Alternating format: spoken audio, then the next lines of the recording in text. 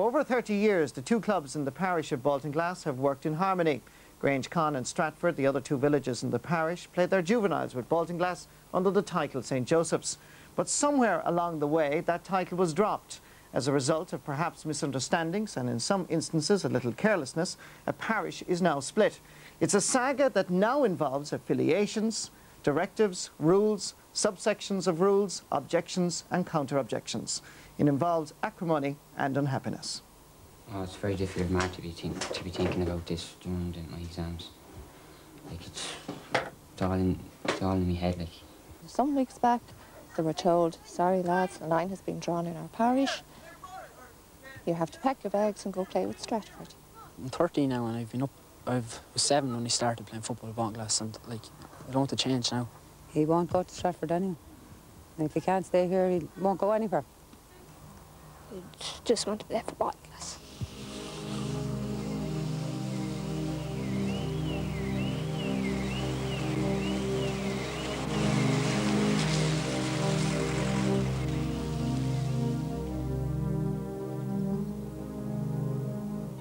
It was always a peaceful place.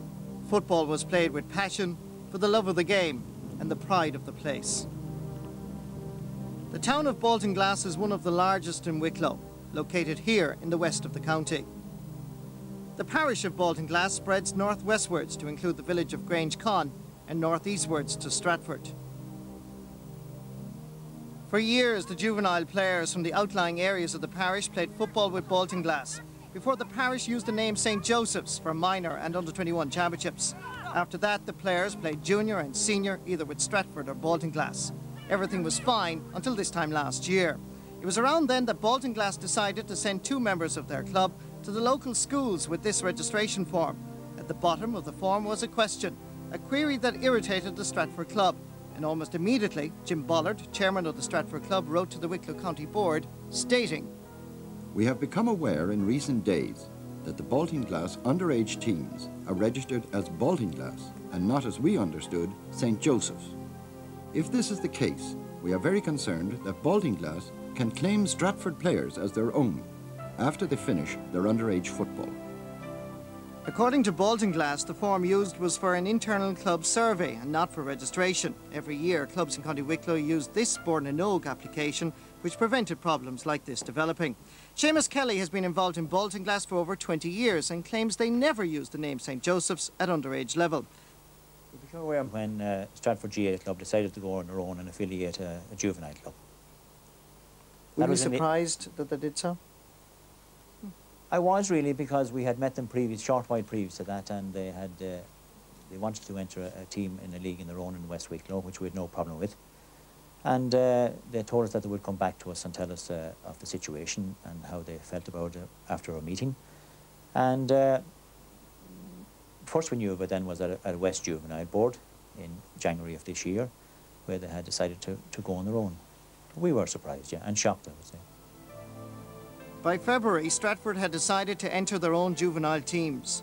The club supplied the county board with 90 or more names of players eligible to play for them. But some of these were youngsters of 13 or 14 years of age who had played with Baltinglass since they were 8 or 9. Baltinglass failed to accept a decision of management and the county board in January of this year to affiliate under the group name of St. Joseph's at under 12, 14 and 16. They already had affiliated uh, for minor and under 21 under the name of St. Joseph's. So we had a problem. They would say that they registered under the name Baltinglass because Stratford had already initiated and uh, given the signal that they were going to uh, put a juvenile team into the competitions. Uh, Baltinglass had have affiliated under the name of St. Joseph's at minor and under 21 since the early 60s. In fact, they also affiliated at 12, 14 and 16 under the heading of St. Joseph's since the early 60s, having won an under 14 uh, Wicklow title in 1966. Sometime during the 80s, they terminated the name St. Joseph's and returned to Baltinglass. Um, as a result uh, of alleged poaching in the region, Stratford were forced to affiliate under the heading of Stratford to uh, protect their own club and increase awareness to the GAA. There was no such thing as poaching Stratford players. Baltinglass Club only catered for uh, the juveniles in the area. So anytime that we went to Stratford or to, to see about players, it was for the Baltinglass Club, the juvenile club. Worse was to follow. In April this year, the management committee of the county board decided to draw a line through the parish. Anyone below the line could play for Baltinglass, anyone above for Stratford. The reaction was unbelievable. And I say, and I would probably say the reaction was uh, astounding maybe from both sides of the parish. Because you're dealing with a, a country parish here, uh, which is three churches, Baltinglass, Stratford, and Grange governed by the one parish priest and a curate, uh, always got on very well together. Ordinary people could see major problems with this line because it was drawn through town lands, it was drawn through people's farms. It, it had major consequences. Maybe not today, but maybe in 10 years' time, maybe people's children's children could, could create a problem. Under Rule 56G, we have the power to control all matters and affairs of our association. Do you think it was fair to draw a line, as such a line in sand, to solve the problem? Well, we believe we must always protect the interest of the small club. If we don't draw up a catchment area for Stratford, what is the future of the Stratford Club? The Stratford Club, who recently purchased their own ground and have plans to build their dressing rooms. If we allow the movement of players from their dedicated area, what future have they got? Anthony Nolan is a Wicklow minor footballer. This week he began his leaving certificate examinations. He is outside the line but won't play for Stratford. Well, it's very difficult, Mark, to be, think, to be thinking about this during the, my exams. Like, it's, it's, all in, it's all in my head, like. So it's the only thing I can think about, really. It's very hard to be studying, like, here. And does it bother you in, in the sense that you know when your exams are over that this dilemma is still going to be there. Yeah. Yes, it was. Um, like I'll have, I'll have no football whatsoever after this. Only the Wicklow minors are going so well at the moment. I have no football. Objections and counter-objections have been pursued by both sides.